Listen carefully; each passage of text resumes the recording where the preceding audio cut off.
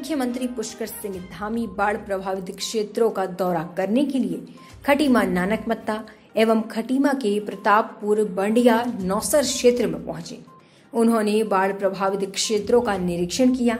साथ ही बाढ़ प्रभावित लोगों से बात कर हर संभव मदद दिलाने का भरोसा दिलाया।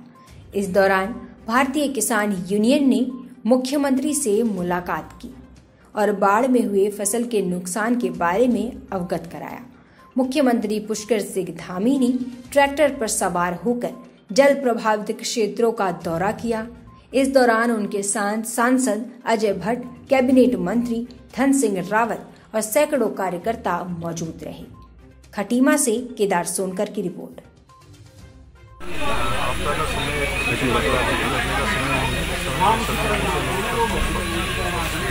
हमारे सामाजिक के इसमें काम कर सभी लोग आगे आए हैं सभी आपदा का साथ आपदा की लड़ने में अपना